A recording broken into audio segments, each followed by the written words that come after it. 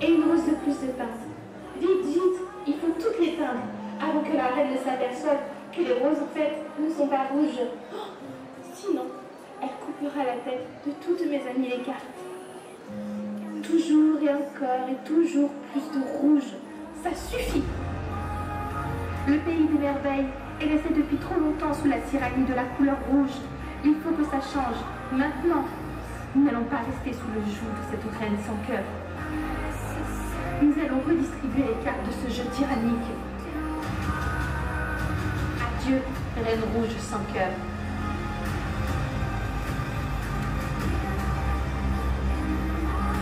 Dorénavant, ce ne sera plus la couleur rouge qui régnera, mais le bleu qui gouvernera le pays des merveilles.